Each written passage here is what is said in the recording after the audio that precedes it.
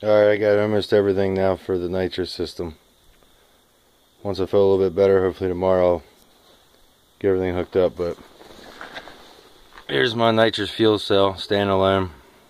Allow me to run my nitrous pressure right where I need it to be instead of having to come off the fuel rail and worry about pressure drop.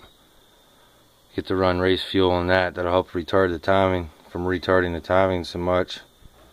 It's really nice. 6 AN the whole way over over to my direct port.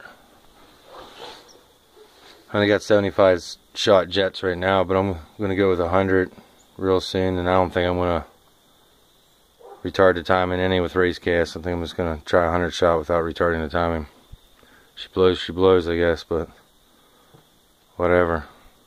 Can't say I didn't try. But yeah, it looks really nice. Aeromotive. Gallon fuel cell.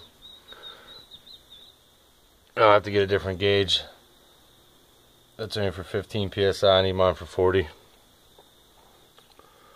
But I can even use that for uh, boost as well. As a boost application for supercharger and boost.